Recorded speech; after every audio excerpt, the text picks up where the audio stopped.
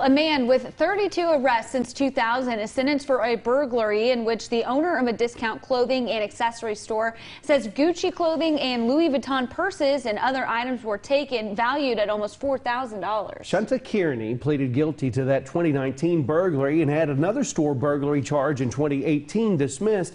The 2019 burglary was at the Slightly Dipped store at 3202 Holiday Road where the owners told police someone broke into the business by cutting cutting locks.